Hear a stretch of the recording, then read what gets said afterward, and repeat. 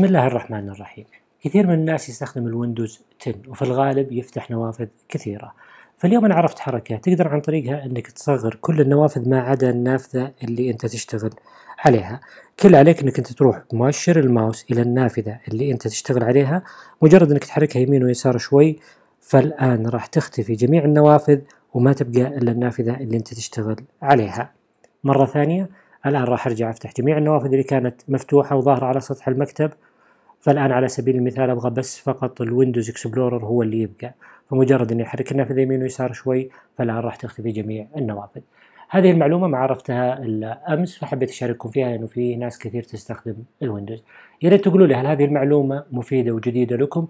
وهل تحبون إني أشرح تلميحات عن ال Windows 10 رأيكم يهمني يعطيكم ألف عافية ونشوفكم إن شاء الله مع فيديو قادم.